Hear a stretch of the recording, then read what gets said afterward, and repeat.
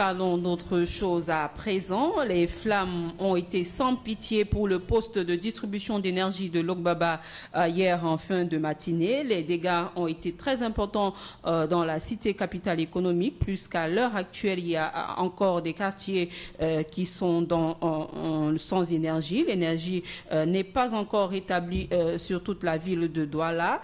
Et pour déceler les causes de cet incident, qui reste jusqu'ici incertain, et, quelle est l'ambiance qui règne de ce côté de, de, de Logbabala. Nous avons au, bout du film notre reporter Audrey Tenanteux qui s'est rendu euh, du côté de, de Logbaba où, a eu lieu cet incident hier. Audrey Tenanteux, bonjour. Et, vous êtes à Logbaba. Quelle est l'ambiance qui prévaut là-bas actuellement?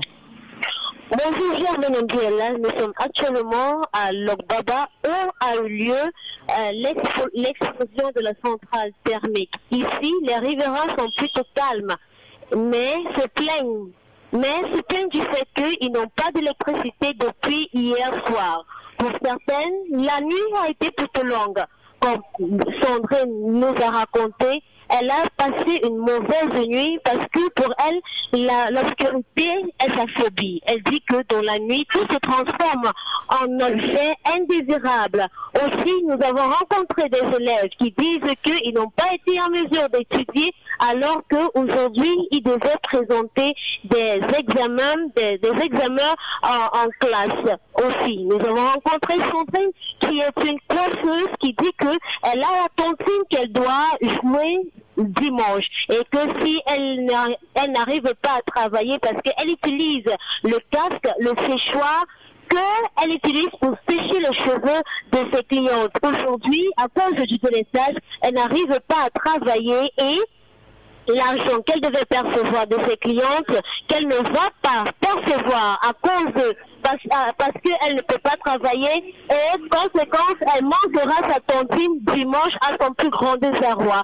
Germaine là aussi, nous avons rencontré des riverains qui se plaignent du fait que à chaque fois, à chaque fois, malgré qu'ils sont en face de la centrale thermique, ils n'arrivent pas à avoir la lumière constamment parce que de temps en temps, il y a de l'estage à ajouter à l'explosion de la centrale thermique aujourd'hui. Ils disent qu'ils ne savent pas à quel sens jouer. Comme par exemple Martial qui dit que il a son congélateur rempli de viande et de poisson et qu'il a peur d'une valeur de 150 000 francs CFA.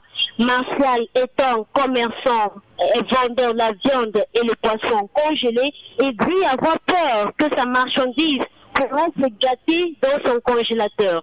Mais Audrey Tenante, vous qui êtes sur le terrain, au-delà de, ces craintes euh, des populations riveraines à, la centrale thermique qui a explosé hier, est-ce que vous avez pu remarquer que les agents de la Sonatrel sont sur le terrain?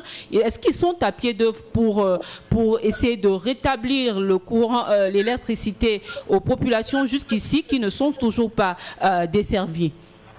Effectivement, Germaine Mandiala, je suis assise en face du portail de la Sonatrel et tout de suite, nous voyons des camions entrer et ressortir, des personnes marchant ci et là, entrant et sortant euh, de ce portail bleu de la Sonatrel. Aussi, nous avons reçu l'information selon selon les, agents de sécurité que actuellement il y a une réunion qui est en train de se tenir entre le directeur de la Sonatrel et des autorités venant de Douala et Yaoundé pour voir dans quelle mesure, dans un premier temps, ils ont fait la visite euh, du site où l'explosion a eu lieu, puis une réunion se, se tiendra pour voir dans quelle mesure du possible est-ce que la lumière pourra être rétablie. Ok, merci à vous Audrey Tenante. En tout cas, vous restez sur les lieux, vous continuez de scruter cette actualité pour nous.